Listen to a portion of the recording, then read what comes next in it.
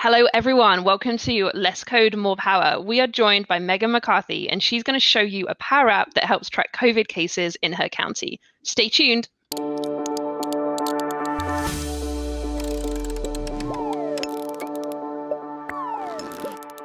Hello, and welcome to Less Code, More Power. One, I'm one of your hosts, Donna Sarkar, and this lovely lady, and who I'm pointing to in the right direction now, is Sarah Critchley. Hi, everyone. Hello, everyone. So much for joining us. And by the way, we have an incredible guest today, a true citizen developer story. We'd like to invite Megan McCarthy to join us, who is from the Department of Health. And she has got a fantastic story to share with all of us today. Hi, Megan. Thank you so much for joining us today here on Less Code More Power. Well, thank you so much for having me. I'm excited to be here. Fabulous. So, will you please tell our viewers a little bit about who you are and what you do? Yeah, absolutely. Um, my name is Megan McCarthy. I am an epidemiologist for the Florida Department of Health in a rural county called Sumter County.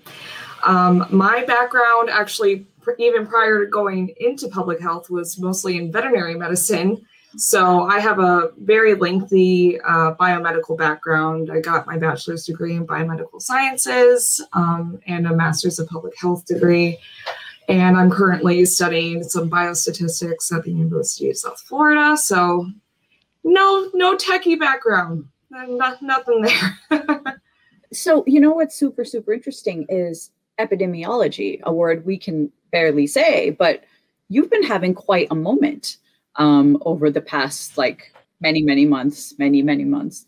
And I find it so fascinating how suddenly tech has had to become a part of everyone's lives because suddenly we're all working from homes and closets and you know random guest rooms and such and such. So you actually had to turn to technology to solve a real problem for the school districts around where you live. Do you want to tell us a little bit about that? Uh, yeah absolutely. So um, when schools started reopening in August of 2020, we ran into this uh, conundrum where um, all these students would, and of course, teachers and faculty staff would be returning to in person school. And the school board wanted to collaborate with the health department as much as possible in order to know who needs to be quarantined um, or if somebody's in isolation, the difference being quarantine is if you're exposed and we're watching to see if you become a case, or if you're isolated, you're actually sick and you have um, the disease, in this case, COVID 19. So we had to come up with a way to track all of these cases and kids being quarantined and exclusions in school and be able to communicate well with not just the, the parents, but the school board as well. So we started with a giant uh, Microsoft Excel spreadsheet, which was a nightmare. And we realized quickly that we needed a better way. Um, so the way that I came ac- across Power Apps was actually um, prior to being an infectious disease epidemiologist. I'm now the epidemiology program manager. But prior to me moving into this position, I was a senior health educator and I was developing a program for falls prevention. And we looked into Power Automate to be able to automate uh, these reports that we wanted to generate for our participants in this program. So I knew a little bit about Power Automate. I kind of dabbed into Power Apps with some of the templates just to play around with it, but nothing really extraordinary happened there. Um, but I realized that there was a need. So I went to my boss and I said, let me build an app. Let me try to build an app and let's see if this works. And fortunately, it worked really, really well. Um, so, what we have now is an app that tracks every single person who's either quarantined or isolated. It helps us communicate with the schools as to who shouldn't be in school so that we can have absences excused. Um, a parent isn't able to just keep their kids out from school and say, oh, they were exposed to COVID. They have to have the clearance from the health department. And we're able to kind of mend the, the medical talk, like the school being able to not act as the epidemiologist when the parent reports a exposure has happened or something like that. So really bridging that gap in order to make sure that school functioned, you know, as efficiently as possible. And Power Apps allowed us to do that. That's amazing. It sounds it definitely sounds like it connects every everyone together, right? So like it kind and it makes it easy with doing so. Like you said Excel was a bit of a nightmare in in that. So not only does it kind of take the data kind of side of that, but it actually makes it easy to be able or at least easier to be able to track all of this kind of information, right?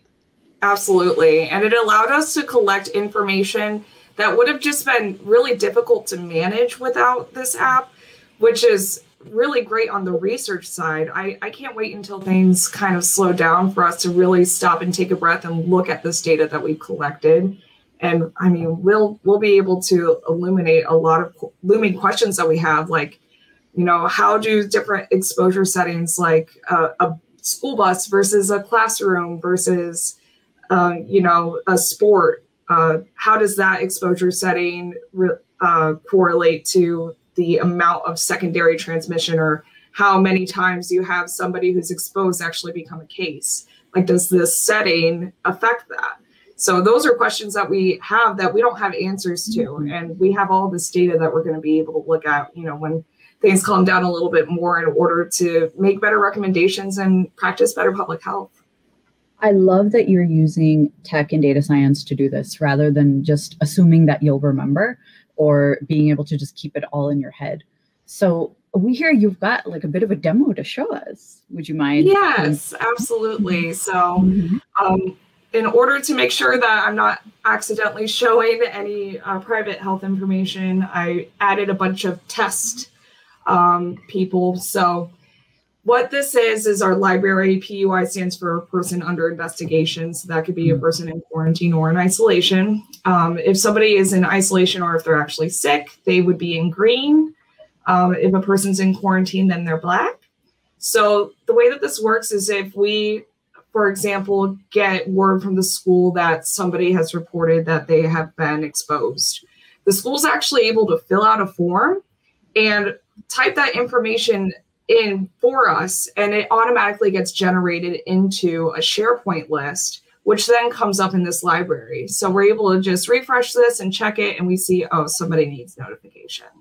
So we're able to go in and get all of the information that we need, including phone numbers, what their address is, um, whether, or this is something that we would fill out. So who exposed them? Merlin is our um, statewide database for uh, reportable disease surveillance. Um, whether or not they're in Merlin, if it's an ongoing exposure, the date of last exposure, which is very important because that determines how long they have to quarantine for. And then um, the CDC, when they uh, revise their quarantine options to allow for shorter quarantines, um, you know, Power Apps allowed us to easily be able to edit that and kind of change our uh, the way that we input data and the way that we get uh, these dates settled very easily. So it, it's it's just been amazing how how quickly we're able to implement changes because as I'm sure everybody knows at this point with COVID-19 the guidance almost changes weekly or daily it feels like sometimes. So being able to change it around and fit our needs was very convenient so it calculates all these dates for us based on the quarantine options selected. And we're able to generate letters of quarantine or isolation stating, okay, you need to be, you, need to stay home for X amount of days if they need it. Sometimes the parents will need that for work if your child's been excluded from school and now they need to show their boss, my child can't go to school, I have to stay home. So we're able to generate those letters for them just with the click of a button those letters are automatically emailed to the person, to the user um, who clicked the button. Um, so we're able to put what school they're in, everything like that, like all, all the information that we need. And then, of course, a general notes section where we can put in whatever notes we need to do. So it's incredibly convenient. And we always like to follow up with all of our cases and contacts to release them to let them know, okay, you're cleared. And we have all that information here. The schools uh, wanted a letter for every single student that was released by the health department. So we have those letters get generated just with the click of a button as well. Um, and again, that e- that is automatically emailed to the person who clicked the button, and then we can then forward that on to the parent or the school if necessary. Wow, this is amazing. Donna. I don't know about you. Like, we have such amazing guests. I always have to be like so controlled about the questions. Like, I have so. I'm like, mm-hmm. wow, this is amazing. Megan, I, this is Sorry. so. I just love the amount of paperwork you've reduced. Yeah. Otherwise, each one of these would be a sheet of paper that someone is going to be responsible for typing somewhere, and they're going to lose it right? Just the paperwork part, like every school. Not even fun, is it? Right? Who wants to make documents manually? Mm-hmm. Like, woo, yeah. yay, can't wait to go to yeah. work and make docs. I can't imagine it, you've replaced like so much manual labor and like boring manual labor, right? For so many yeah. people. So they can actually be challenged in solving actual problems that we have versus like, oh, go write up the 30th document saying, no, you're clear to go back to school. So that is just wonderful. Megan, one of, the, one of the questions I really want to ask you, right, is that you, you know, you have this background in veterinary medicine, then you kind of went into like the kind of biomedical kind of field and, and really kind of what you do now. What, how was the experience for you? Like, I know that you had some exposure to Power Automate, right? But making all of this, like, how long did it take you? It only took me maybe a couple of weeks, honestly. And yeah, and I utilized a lot of searching and YouTube videos and um, and just forums and things of that nature in order to. And whenever I had a question of can I do this, it's so easy to just can you do this in Power Apps and get an answer right there, right there, and exactly how to do what you're searching for. So it really was so easy and almost kind of fun in a way. It's it's kind of like solving a puzzle, and I really like puzzles. So it just piecing the puzzle pieces together in order to make you know the end product. It it really didn't take me a long time at all, and it saved us so much time. So the the effort that went into this, it's exceeded exponentially. You know the amount of time that we've saved just doing, like you said, data entry we would have had to hire just data entry clerks to handle the amount of information that we have to collect for each person. And we're doing this by the hundreds, um, you know, at one point by the thousands. So it's really important that we have a nice, easy way to find it with a nice recall too, because I have a large team of uh, people all working on the same kind of thing. So if a parent calls, one investigator and then talks to another investigator, all we have to do is type in a name and we're able to get all the information that we need, which is just uh, incredible. It makes our job a lot easier. That's amazing. I love that. I love it so much. I love that you you felt that was completely worth the investment to go and learn through YouTube forums, all of these things. And you know, our community is a big reason that people are able to learn about Power Platform so easily because they know what people need. They know the questions they get asked. They know the questions they had at the beginning of their learning journey. So thank you so much for coming on and sharing this incredible story with us.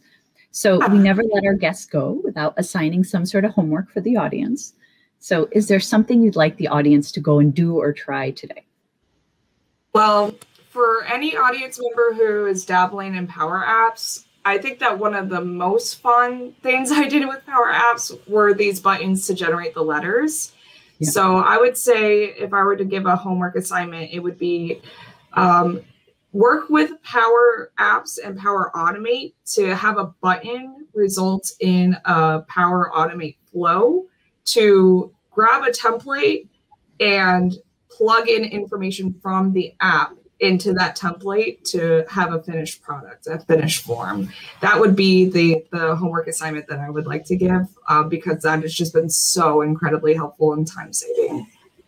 I that's awesome. That. I love how specific you are. That's yeah. that's like that's like so good. No, and it's a great yeah. thing. Like I think we're probably mm-hmm. going to tell our guests going forward to be like that specific, right? And so because I I think by giving people the the that's that specific nature, Megan, what you're kind of like, there's going to be for those watching, you know what to do now, right? Like mm-hmm. you need to literally go and do a specific thing. And by the sounds of it, Megan, like, you know, just like how you use that feature, there's going to be so many different interpretations of that feature that that the benefit. Yeah. Yeah. And we've talked about how um, you know, when COVID nineteen is over, hopefully one day, um, the now that we have the capabilities to make apps like this, I'm actually working on a new app that will help us mm-hmm. track just any kind of outbreak of any kind of disease in uh, group settings like long-term care facilities or correctional facilities and things like that. Um, because right now we don't really have a great way to track those things um, in in just one place. There's a lot of different places to track a lot of different things. But what if you had one thing that could have all of it? And Power Apps allows that. So that's my next project that I'm going to be working on, and we're just we feel very lucky that we had this resource available to us because it has really made our jobs easier and it's made us better public health workers. I love that. Power Apps helps you be better public health workers. That is an amazing tagline. And believe you me, we will be telling everyone that news.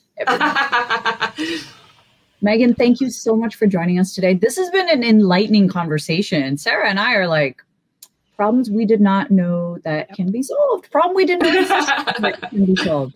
So we have learned so much from you, and we will tell your story broadly to everyone we know. Thank you very much for joining us. And for everyone else, tune in next time to Less Code. More power.